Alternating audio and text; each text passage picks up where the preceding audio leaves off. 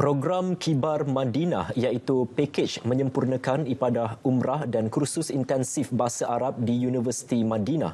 Bagi melaksanakan program khas tersebut, Andalusia Travel and Tours menandatangani MOU dengan Quisel, anak syarikat Kolej Universiti Islam Antarabangsa Selangor bagi pengendalian pakej Kibar Madinah ini selama dua tahun.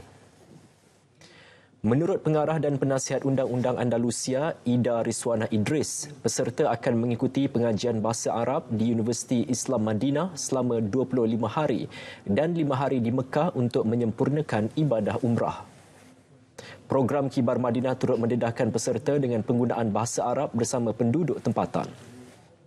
Eh, kita merancang dalam tempoh dua tahun ini, dalam setahun kita rancang untuk bawa lebih kurang satu ribu orang yang berminat untuk belajar bahasa Arab. Eh, dan mungkin program seperti ini dapat dilebarkan negara lain di mana bahasa Arab juga adalah bahasa eh, bahasa rasmi mereka. Itu seperti contoh di Morocco. Pemangku Ketua Pegawai Eksekutif Quisel Ahmad Fuad Mat Ali menyatakan kerjasama ini mampu membawa pakej Kibar Madinah ke tahap lebih tinggi serta imej dan kredibiliti lebih besar. Jadi kami melihat kerjasama ini akan diteruskan dengan pelbagai lagi program-program yang saya sebut tadi sebahagian daripada edu tourism maksudnya pelancongan pendidikan. Ha, itu hasrat kami sebenarnya.